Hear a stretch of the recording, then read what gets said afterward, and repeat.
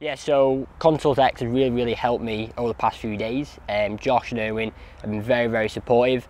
They've kind of helped me narrow down into a niche and kind of build an agency around a specific type of demographic, customer avatar, like a specific type of clientele.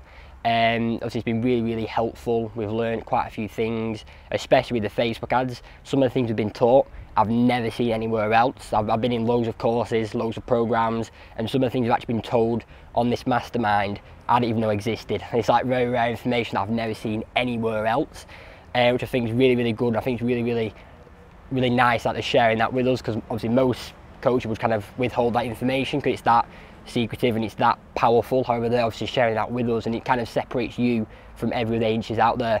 Um, and also in terms of outreach, they've kind of helped kind of personalize things, make things direct to where the clients will actually reply to you. So kind of you won't be getting replies like telling you're not interested or basically swearing at you telling to get lost. They'll just politely say they're interested and if you can reply to them and then hopefully convert that into a, um, a client